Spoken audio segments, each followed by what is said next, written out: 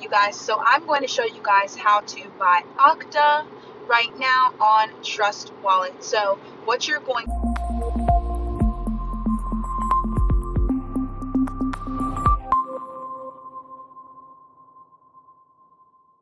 to do is you are going to first come over here in the top right corner and type in Octa so that you can add it to your wallet and it will show up once you've purchased it. So pretty much you first need to buy BNB. You will click buy in the top right corner.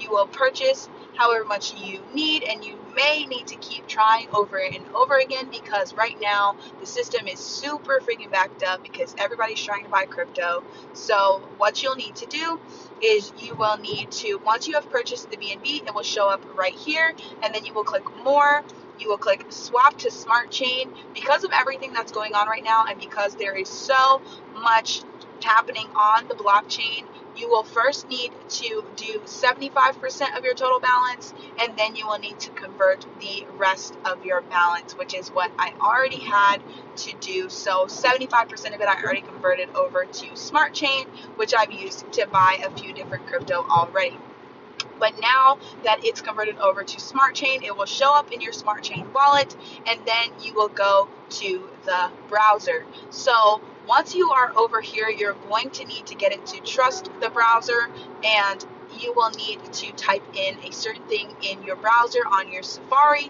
in order to get into Trust the browser on the Trust wallet.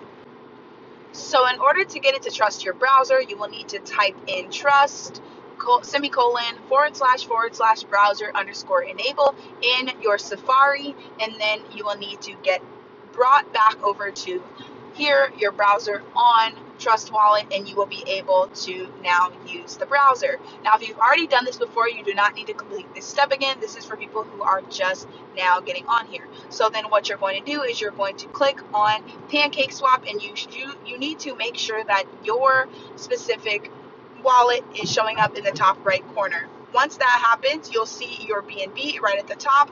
And if you want to use all of it, you can click max. If you just want to use a specific amount of the BNB, then you will just go right here and you will type in the amount.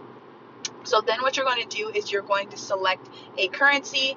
And since I am going to be purchasing Octa, what I need to do is I need to click and copy the contract number for Binance Smart Chain. So now that I have done that and I have copied it, all I'm going to do is I'm going to go back over to the Trust Wallet and paste it right here in the address.